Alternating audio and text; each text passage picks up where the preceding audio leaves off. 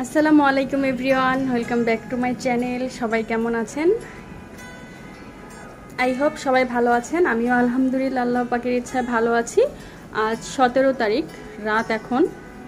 বাইরে প্রচুর ঝুমঝুম বৃষ্টি হচ্ছে।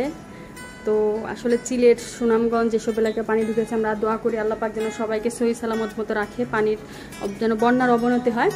তো যেহেতু বৃষ্টি আর বৃষ্টি মানে হচ্ছে আমাদের খিচুড়ি খাওয়ার ওয়েদার তো এই যে বৃষ্টিতে আমার গাছগুলি একদম নেতায় পড়েছে, তো আমি খিচুড়ি রান্না করব আর কী কী রান্না করব ইনশাল্লাহ আপনাদের সাথে শেয়ার করব। আমি এখনও জানি না যে কী রান্না করব, তবে খিচুড়িটা একটু জাস্ট প্রসেস করে নিয়েছি আর মুরগি, ডিম, ভর্তা কি করি আপনাদের সাথে সব শেয়ার করব। তো আমি রান্নাঘরে চলে আসলাম, এই যে খিচুড়ি রান্না করার জন্য আমি এখানে চাল, ডাল আর হচ্ছে আমি পোলাওর চাল নিয়েছি। আজকে যেহেতু মুগের ডাল নেই, এই জন্য আমি শুধু মুসুরির ডালই দিয়েছি। আর আজকে আমার মামা আসছে তো মামা আসার স্পেশালেও আমরা এমনিতে বৃষ্টিতে বৃষ্টি নামলেই তো আমরা খিচুড়ি খাই, আপনারা সবাই জানেন। তো আমি খিচুড়ি রান্না করার জন্য বড় পাত্রটাই দিয়েছি, যেহেতু লোকজন আজকে একটু বেশি। তো এখানে ফার্স্টে তেল গরম করে নিব। আর কি কি রান্না করব সবই আপনাদের দেখাবো, তো দেখতেই থাকুন। তো এই যে এখানে আমি তেলের মধ্যে দারুচিনি, তেজপাতা আর হচ্ছে পেঁয়াজ কুচি, রসুন কুচি দিয়ে দিলাম। এটা আমি ফার্স্টে লাল করে নিব। আপনারা তো জানেনই, আমি খিচুড়িতে কিন্তু কোনো বাটা মশলা ইউজ করি না। তো এটা লাল হলে আমি কাঁচামরিচ দিয়ে দিব। আর যেদিকে আমি কলা সিদ্ধ করার জন্য দিয়ে দিয়েছি, ভর্তা করব। আর এদিকে যেটা প্রায় লাল হয়ে গিয়েছে, এটার মধ্যে এখন আমি একটু আদা বাটা দিব আর মরিচের গুঁড়া, রসুনের গুঁড়া, ধনিয়ার গুঁড়া দিয়ে দিব। আস্ত জিরা দিব আর কালো জিরা দিব আস্ত। এখানে আমি সব মশলা দিয়ে দিলাম।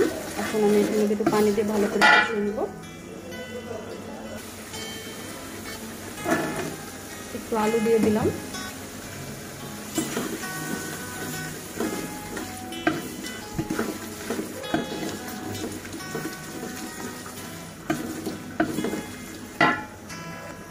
তো এই যে এখানে মশলা কিন্তু কষানো হয়ে গিয়েছে। আর আমার আমি এখানে পানি গরম দিয়েছি। আজকে আমি খিচুড়িতে পানি গরম দিব, কারণ হচ্ছে আজকে ওয়েদার একদমই ঠান্ডা। এটার মধ্যে চাউল দিয়ে দিব।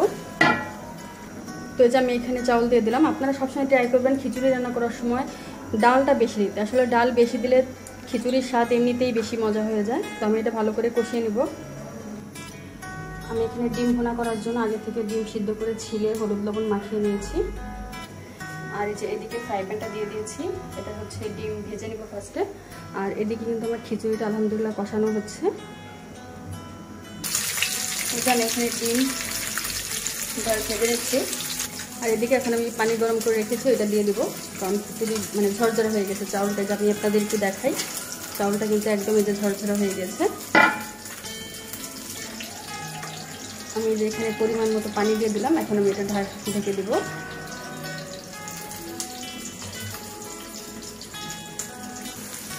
ডিম উঠিয়ে নিয়েছি। আমি ডিম ভোনা করার জন্য ফার্স্টে পেঁয়াজ দিয়ে দিলাম। পেঁয়াজের মধ্যে একটু হালকা লবণ দিয়ে দিচ্ছি। এটা লাল হতে থাক। আর এই যে এদিকে আমি কিন্তু ঢাকনা দিয়ে ঢেকে দিয়েছি, আমি যেহেতু গরম পানি দিয়েছি, দেওয়ার সাথে সাথে কিন্তু ভালো চলে এসেছে। এই যে পেঁয়াজ কিন্তু লাল হয়ে গিয়েছে, এখন এক এক করে আমি সব মশলা এটার মধ্যে দিয়ে দিব। সব মশলা কিন্তু দিয়েছি, এখন ভালো করে কষিয়ে নিব। তো যে এখানে আমি কষানোর পরে একটু পানি দিয়ে দিয়েছি, এখন ডিম দিয়ে দিলাম, বিসমিল্লাহ। তো পানিটা যখন শুকিয়ে যাবে, আমার কিন্তু ডিম ভোনা করাটা হয়ে যাবে। এই যে এদিকে আমার খিচুড়িটা কিন্তু হচ্ছে, আমি একদম দমে দিয়ে দিয়েছি। আর এই যেদিকে মুরগি ঝাল ফ্রাই করার জন্য হচ্ছে আমি এইভাবে থান সহ চার পিস লেগ পিস নিয়েছি, আর একটা হচ্ছে পঞ্চাশটা নিয়েছি। এটা ভুনা করব পেঁয়াজ দিয়ে। তো যে আমি এখন চিকেনটা ভেজে নেব। এখানে তেল গরম হয়ে গিয়েছে।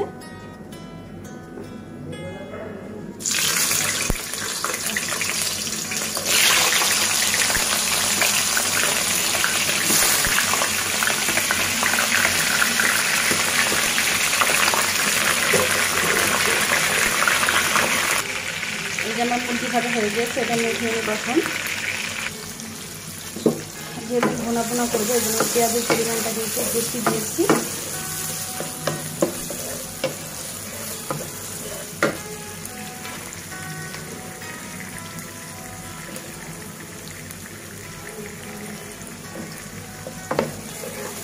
এখানে আমি হালকা একটু লবণ দিয়ে দেবো ফার্স্টে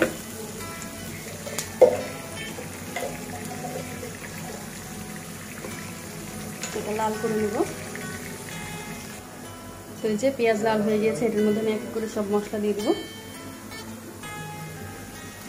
জিরে বাটা, রসুন বাটা, আদা বাটা, হলুদের গুঁড়া, মরিচের গুঁড়া আমি একটু করে দিয়ে দিলাম। আর এদিকে আমি মরিচ ভর্তা করার জন্য আমি শুধু কলা ভর্তা করব আর মরিচ ভর্তা করব। যেহেতু অনেক রাত হয়ে গিয়েছে, এই জন্য আর বেশি ভর্তা করব না। এটা আমি ভালো করে কষিয়ে নিব এখন। আমি এখানে এলাচ আর দারুচিনি দিতে ভুলে গেছিলাম, আমি এটা দিয়ে দিলাম। আর এখানে আমি এলাচ আর জিরা গুঁড়া করে নিব। এটা হচ্ছে মাংসটা যখন কষিয়ে মানে যেহেতু ভুনা ভুনা করব, তখন দিয়ে দেবো। তো কষানো হয়ে গিয়েছে, আমি যেটা দিয়ে দিলাম।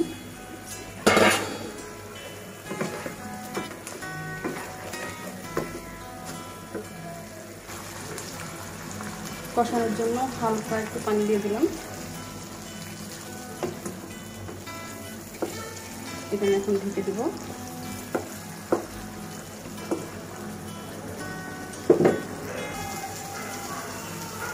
তো যে এখানে বেগুন ভর্তা করার বেগুন না কলা ভর্তা করার জন্য আমি মরিচ, পেঁয়াজ আর হচ্ছে রসুন তেলে দিচ্ছি। আর এইখানে যে তেল থাকবে, একদম হালকা তেল দিয়েছি। আর এই তেলের মধ্যে আমি যে কলাটা সিদ্ধ করেছিলাম, ওই কলাটা আমি দিয়ে দেবো। এই যে কলাটা। তারপরে হচ্ছে শিলিপাটায় বেটে নেব। আর এই যে এদিকে আমার চিকেন কিন্তু আলহামদুলিল্লাহ হয়ে গিয়েছে। তো আজ এই পর্যন্তই।